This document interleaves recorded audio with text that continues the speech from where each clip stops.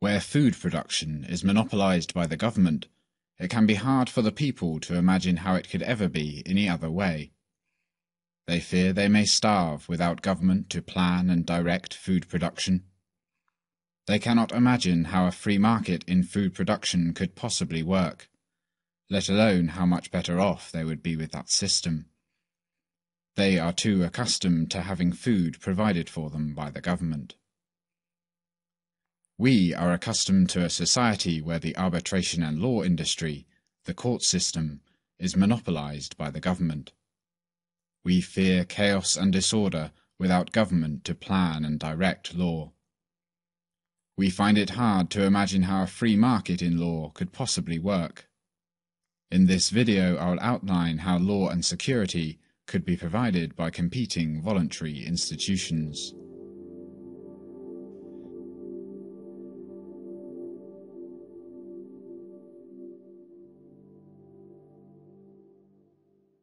This is Alice. Alice lives in a free society, where security and law are provided not by a government, but by competing firms. Like most people, Alice demands to feel secure in her person and property. She does not want anyone to aggress against her.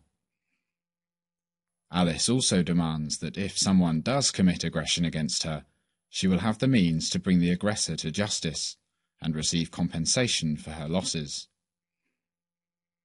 A number of competing firms exist to try and satisfy these consumer demands.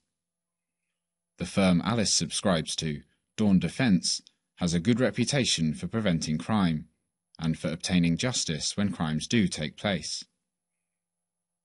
Alice pays her security bill monthly, the same way she pays for her electricity and telephone services. She is on a standard package, which suits her budget and her lifestyle choices. She has chosen an insurance option so that if someone steals from her, she is guaranteed quick compensation.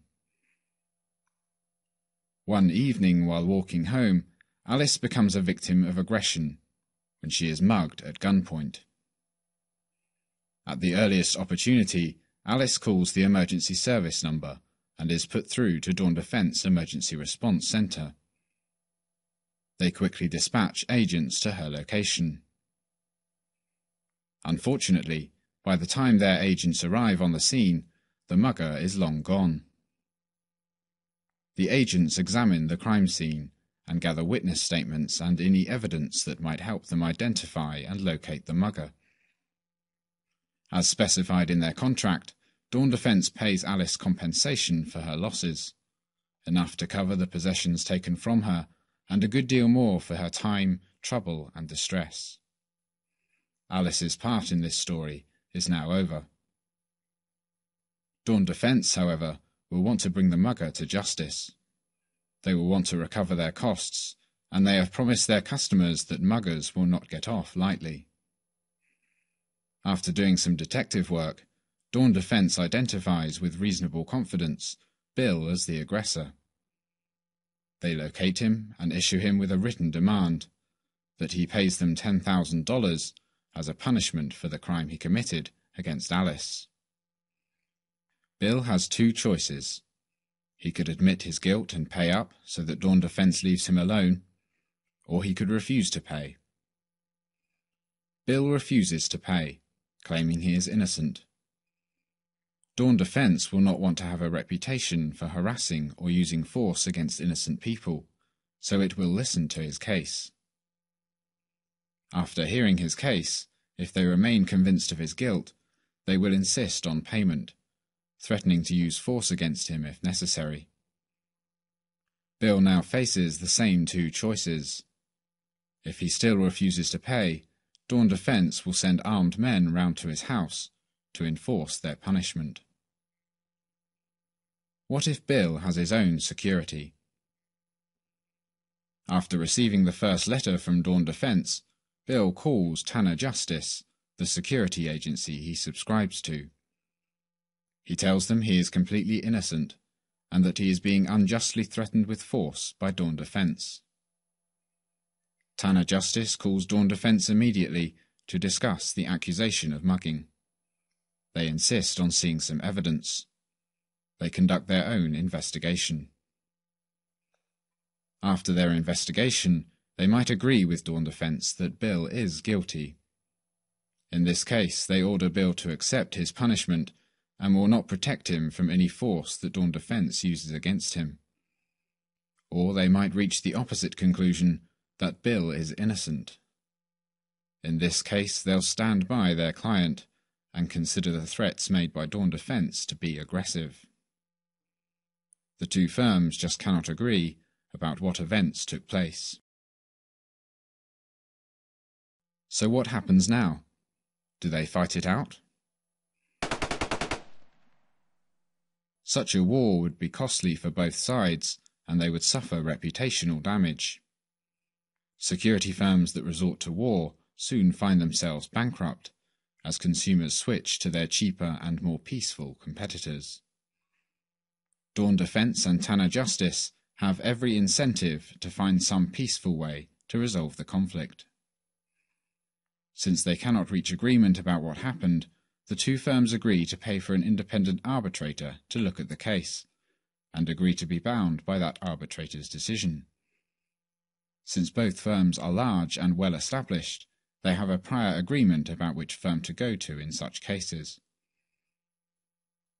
Their chosen arbitrator, Benson Enterprises, is a firm that specializes in resolving such disagreements between security firms. Benson's examined the evidence presented by the two sides and listened to their arguments. After careful consideration, they conclude that Bill is guilty of mugging Alice.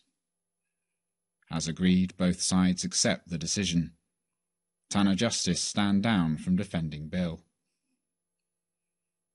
Now, with no one to protect him, Bill has no other choice but to accept his punishment.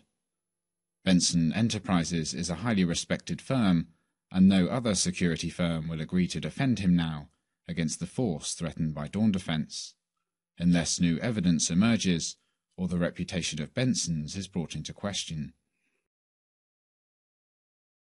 If Bill cannot afford the $10,000 punishment, Dawn Defence will accept payment over a longer term. They may insist on taking a portion of his wages until his debt, plus interest, is paid, and they may contract with his employer to ensure they are paid on time. If Bill is unemployed, they may insist on taking a more active role in his life. They may force him to work at a place of their choosing.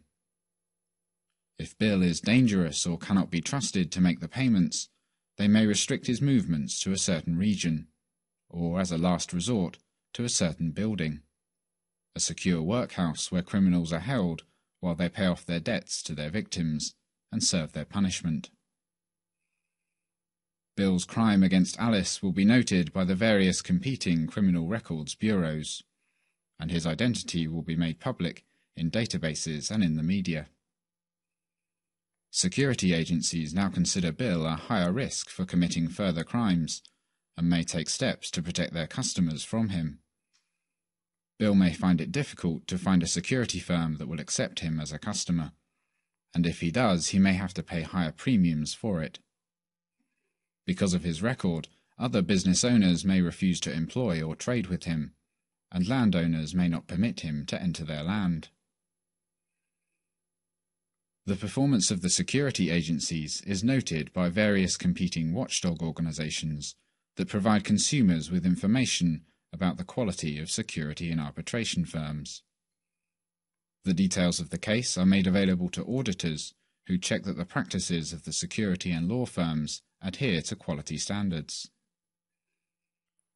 We cannot know in advance how the security and arbitration firms will be structured. We cannot know how many firms will operate in a given area, or how large an area a typical firm will cover.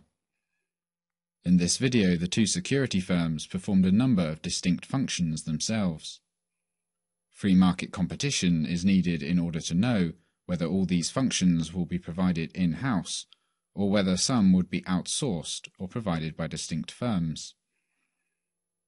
All these related industries keep the firms satisfying consumer demands for security and law true to their function of protecting individuals against aggression, serving justice, and maintaining order in society.